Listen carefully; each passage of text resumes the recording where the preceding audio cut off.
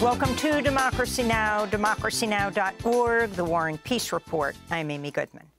Mexico and Chile have requested the International Criminal Court investigate Israel for committing war crimes against civilians in Gaza as outrage grows over Israel's 15-week assault on the besieged territory, which has killed nearly 25,000 Palestinians, over 10,000 of them children. On Thursday, the European Union Parliament passed a resolution calling for a Gaza ceasefire on the condition that all hostages be released and Hamas dismantled. This comes as Gaza enters its eighth day under a near-complete communications blackout, the longest blackout to date. Israel's continuing to attack areas across the Gaza Strip. This is a Palestinian mother in Khan Yunis after learning her son had been killed in an Israeli strike. I'm hurting like a burning blaze. I told my husband, let's pray for Abdullah. He will come back. But it was my last goodbye for him. May God have mercy on his soul. They took my heart from me. I was waiting for my son, but he didn't come back. I hadn't slept for three nights praying for him. They told me he's in the European hospital, and I was praying that it wouldn't be true. In news from Israel, police have arrested seven people after they blocked a major highway in Tel Aviv during a protest calling for Prime Minister Benjamin Netanyahu to reach an agreement that would secure the release of the remaining 132 hostages held in Gaza. Meanwhile, Netanyahu has publicly rejected calls by the Biden administration for the future establishment of a Palestinian state. He called for Israel to be in control of the region from the river to the sea, from Jordan River to the Mediterranean. Therefore, I clarify that in any arrangement in the foreseeable future, with an accord or without an accord, the State of Israel must have security control over the entire territory west of the Jordan River. That's a necessary condition. It clashes with the principle of sovereignty. What can you do?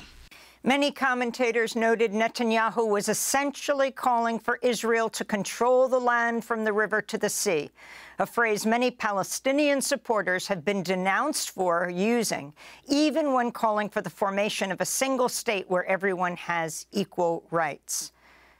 The United States has bombed Yemen for the fifth time over the past week. On Thursday, President Biden acknowledged the U.S. strikes, which were conducted without congressional authorization, have failed to stop Houthi forces from Yemen from attacking ships in the Red Sea and the Gulf of Aden. Well, when you say working, are they stopping the Houthis? No. Are they going to continue? Yes. Hours after the latest U.S. airstrike, Houthi forces attacked a U.S.-owned chemical tanker in the Gulf of Aden. The Houthis have vowed to keep targeting ships until Israel stops attacking Gaza. The U.S. House and Senate passed a short-term spending bill Thursday to avert a partial government shutdown ahead of today's night midnight deadline. The measure extends funding for some federal agencies and programs, as well as the Pentagon, through early March. At the 11th hour, the far-right Freedom Caucus unsuccessfully attempted to add border crackdown measures to the House bill.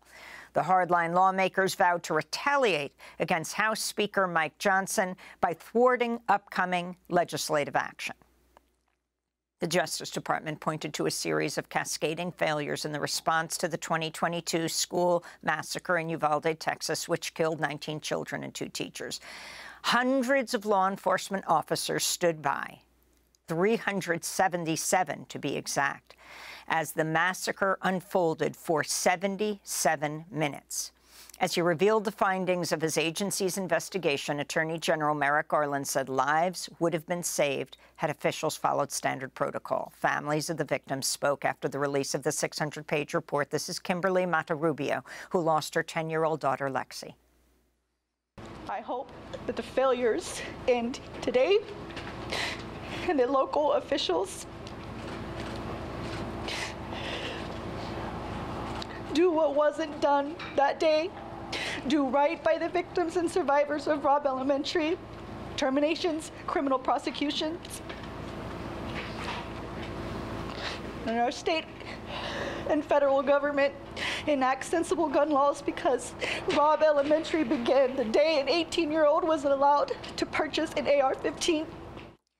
Along with other grieving family members, Kimberly Mata Rubio founded the gun control advocacy group Lives Robbed. The school where everyone was killed was the Robb Elementary School. We'll have more on Uvalde after headlines. Amidst multiple legal woes, Donald Trump posted an all-caps message to his Truth Social platform claiming, quote, a president of the United States must have full immunity even for events that, quote, cross the line. The post reignited fear of an authoritarian crackdown on democracy if Trump is reelected. The ex-president ended his rant by writing, God bless the Supreme Court. Trump appointed three of the nine sitting justices on the right-wing majority court, which is likely to rule on Trump's eligibility to appear on the 2024 ballot, as well as whether he can be shielded from prosecution. Ruth Ben-Ghiat an NYU professor and expert on authoritarianism, said, quote, Trump is telling Americans very clearly that he will be jailing and killing Americans. Anyone who votes for him is complicit with these future crimes, unquote.